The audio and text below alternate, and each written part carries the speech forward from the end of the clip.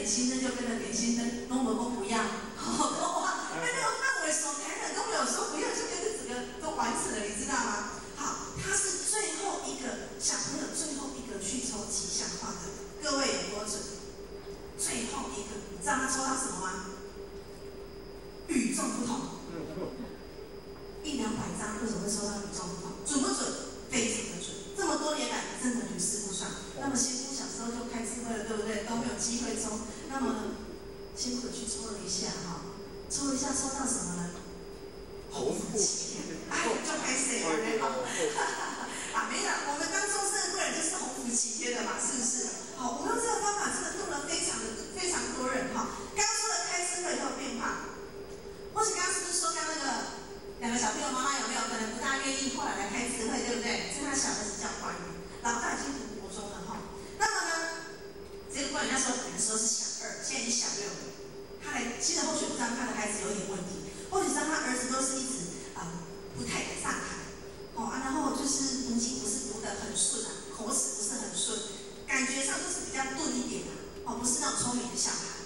结果呢，他大概两个礼拜之后就开完智慧，两个礼拜之后，刚好我那个蔡讲师那时候当执行长哈，那他也到重新分班了。结果看着妈妈，就刚刚那个妈妈哈，他就去找那个蔡讲师，他就说执行长很感谢你。带我们就是办这个活动，让我们去参加开这个活动。他说他的儿子关于之前读经的时候很等待，什么叫等待？比如说一子曰学而时习之，不亦乐乎？后面那句就忘记了，之后后面再接下去，不管读《论语》、读《诗》。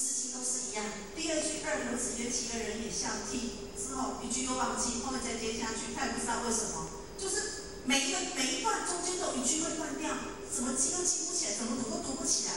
他说开了智慧两个礼拜之后，突然就读顺了。我们是五月开智慧，对不对？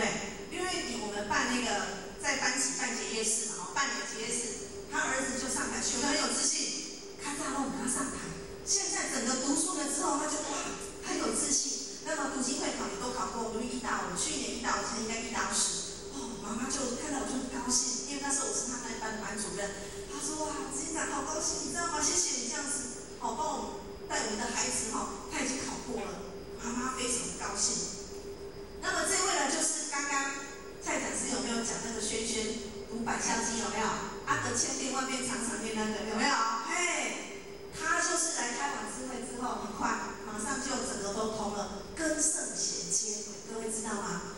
不用去跟孩子去解释你的内容是什么什么。孩子自动会跟上天做接轨，会连线。但起码频率调的不对，上上流。所以呢，起码虽然有他的智慧，但是都还是被什么灰尘带多给蒙蔽了哈。所以多当众生的贵人，自然人生就会很顺的。相信就能改变，你就能够实现。这是后学那一年很感各位那一个哈，当然是开智慧，让人生圆满都能够很顺遂。好，所以呢，这个是后学的书。这个封面是我们蔡讲师设计的吼，长得很好。各位看到这么一道光，有没有？这个光刚好照到我们每一个人的智慧。